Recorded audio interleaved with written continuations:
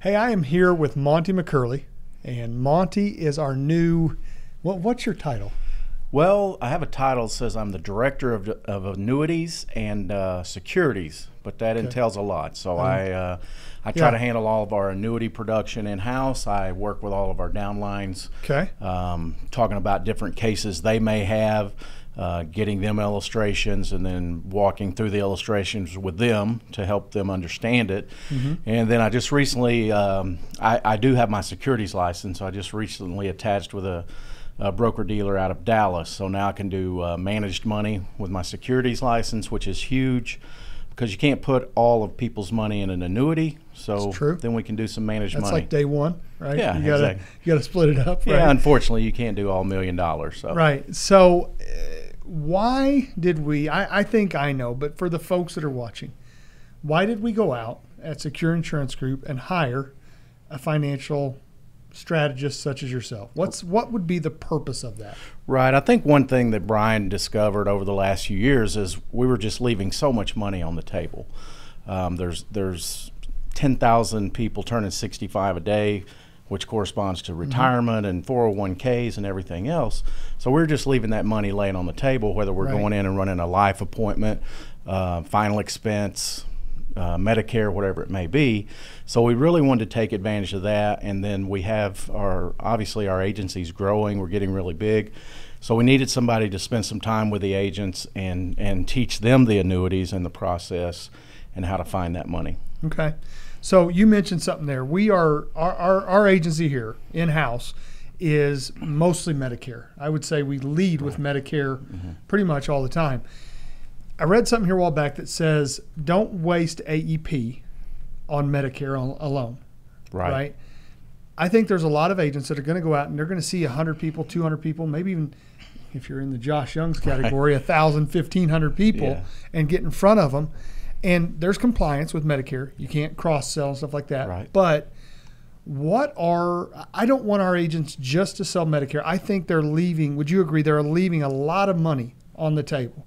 Oh, I agree 100%. And when I was with Secure earlier, that was one of my biggest things I would visit with any agent that would listen to me is, you know, multilining. Mm-hmm. I come from State Farm, and, and if you didn't multiline, they would run you out of the, the company. So What, what's multi-lining for? Well, we're gonna we're gonna go in and we're gonna offer them uh, Medicare, the hospital indemnity, uh, final expense. You know, the more policies that we can get within one household, the longer we're gonna keep them, the longer we're gonna retain them.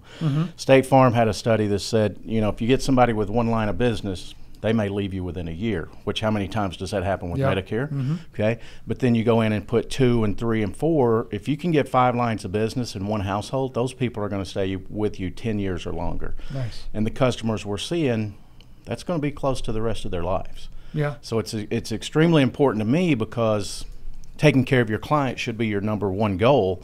And if you're leaving out the hospital indemnity or their final expense, long-term care, uh, helping them with their safe money, then you're not doing the best job you can for your customer. Right. And I mean, the reason people get into Medicare is for retention. Correct. You know, so the longer we can retain, it's the residual income. That's the Right. gold in Medicare. Yeah. Okay, so you're talking to a lot of people, right? Let's say let's say you've got a room full of 100 agents Mm-hmm. that all they do is Medicare. Right. We don't do what we don't go because we don't we don't do what we don't do because we don't know what we don't know, right? Mhm. So I hope that made somewhat of a sense. You got me.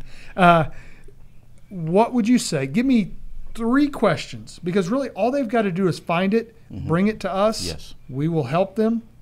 Give me three questions that a person could ask when they're sitting there talking with someone about Medicare. Right. The number one question I ask um, at, at the end of the Medicare appointment, and, and like you mentioned earlier, there's compliance and things, but the very simple question is Are you happy with your CD money in the banks? And the answer is no. The answer is always no because it's less than 1%.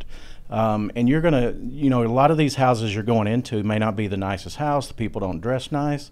You ask a few questions and they re- you realize they got a million dollars in CDs. It's happened to me several times Yep. just by asking that simple question. Uh, that's that's the number one question I would just if if you can only remember one, start with that, and I promise you you're going to get some responses that you like. Um, another one would be, um, you know, are you are you are, are you comfortable with your money still having uh, the risk of being in the market? Would you be interested in having a conversation about safe money? Okay. Okay. Nice. So just those questions like that, and then you know if you're if you're wanting to get a little more technical, uh, would you like to be earning three to four times as much interest on your safe money as what you are in the bank with absolutely no risk whatsoever?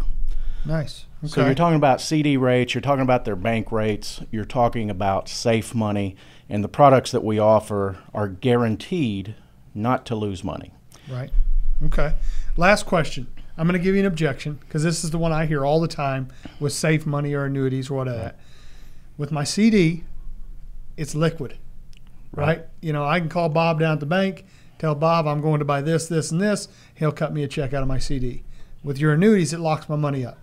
Right. What would you say to that? Um, I'd be very comfortable with that because you do have access to your money that's in the uh, the annuities. Okay, CDs. If you get money out during the term, you lose your interest for that entire term. So you're gonna depend. Most banks are like that, but with your annuities, you can get up to ten percent free withdrawals, penalty-free withdrawals every year. So if you've got five hundred thousand in there, you could get fifty thousand every year penalty-free withdrawals. Nice. So it is locked up a little bit more because you are getting one number one a guarantee that you will not lose money in the in the product, and then you're getting the upside of the market. So they do require you to lock that in anywhere from five to seven to ten years, but you do have access to a portion of your money. Nice. Guys, get out there and as you're in Medicare, as you're talking to your clients, all you got to do is make the introduction to money. Right. Right? Just make the introduction. He can help you through it. He can help you uncover some money and really change. I mean, Monty, uh, what's an average annuity? Average uh, for a beginner is going to probably be somewhere around hundred thousand dollars in, in annuity, um, depending on your contract level.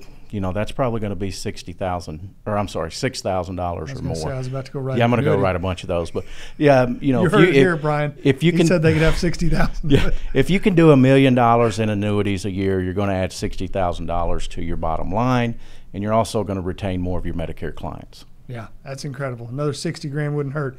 Guys, thank you. I appreciate you watching this and, and reach out to us. If you have any questions on annuities, uh, you can reach Monty here at the office. Yes. Uh, give us your email here, Monty. Uh, Monty M O N T Y dot McCurley M C C U R L E Y at secureig.com.